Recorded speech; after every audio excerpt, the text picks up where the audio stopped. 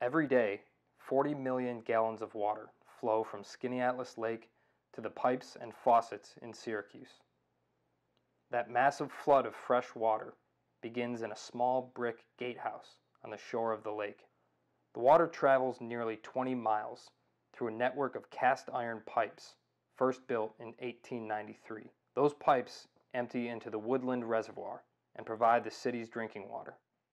Many of the pipes on that 20 mile line are more than 100 years old. The Skaneateles to Syracuse water line is one of only two gravity fed systems in the state.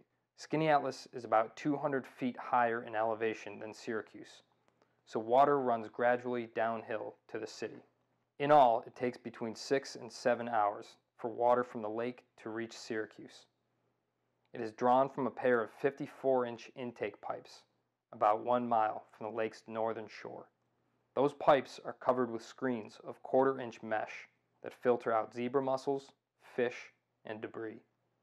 Skaneateles is known to most locals for its clean, clear water.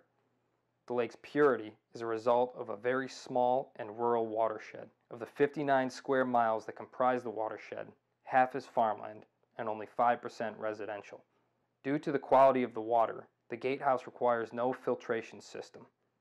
Chlorine and fluoride are added to the water, which is tested daily. It's a system built before the advent of the automobile that still provides fresh drinking water to more than 140,000 people every day.